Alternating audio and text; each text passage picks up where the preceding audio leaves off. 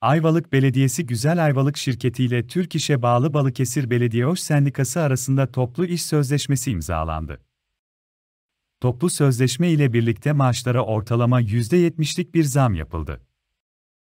Sosyal haklarda da ayrıca önemli artışlar sağlandı. Sözleşmeye göre, ücret artışları her 6 ayda bir enflasyon oranında artırılacak.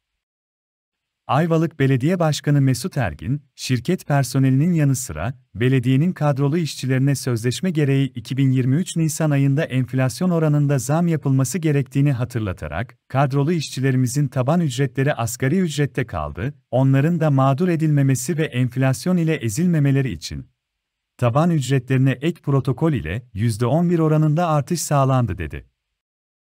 Ayvalık Belediye Başkanı Mesut Ergin, toplu sözleşme sürecinde görüşmelerin karşılık anlayış ve iyi niyet çerçevesinde masada sonlandırılmasından büyük bir mutluluk duyduklarını söyledi.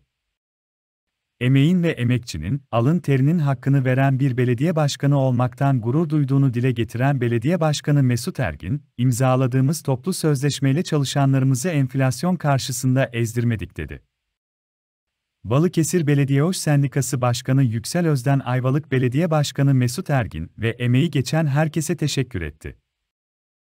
Başkan Özden, Ayvalık Belediyesi'nde geçmiş dönemde zaman zaman çalışanlar maaşlarını alamazken, bugün baktığımızda görüldüğü gibi enflasyonun çok üzerinde aldığımız zamlar çalışanlarımızı çok mutlu etmiştir. İşçi arkadaşlarımız sabah işe giderken, akşam eve dönerken keyifli, mutlu ve huzur içinde çalışıyorlar. Aybaşı geldiğinde maaşlarını alıp çocuklarıyla eşleriyle yemenin keyfini yaşıyorlar. Belediye Başkanımız Mesut Ergin'e, çalışma arkadaşlarına ve işyeri temsilcilerine de önemli katkılarından dolayı teşekkür ediyoruz dedi.